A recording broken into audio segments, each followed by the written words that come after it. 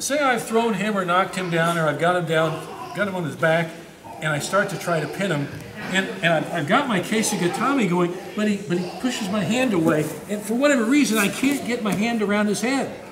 Oh, this sucks. I don't want to do this. Well, you could hold him here in a good legitimate judo hold down and keep him for time. Okay, in judo, our, our pins, like I said before, they aren't, you're not pinning his shoulders to the mat. You're holding him down primarily on his back or backside for time. Okay, so I want, I want to hold him for as long as I possibly can and control his body.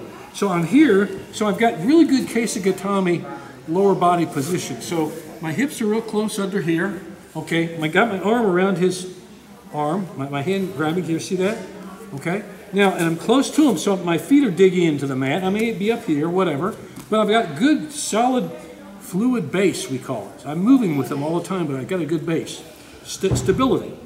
But this arm is here, but I can't get my arm around. He won't let me get that. For whatever reason, it's not going to happen. Okay, so grab both hands on one. So my left hand's already on his his uh, uh, elbow here. And when you grab, don't grab way high up here. Grab way down here with your left hand. Suck him in tight to you.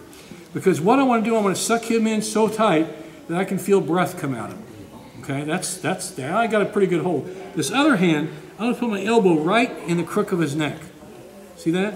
And this hand, see I grab just right here the back of his judo gi, where the back of his arm, his triceps here, above about his shoulder. See that? So I'm going to ride him like this.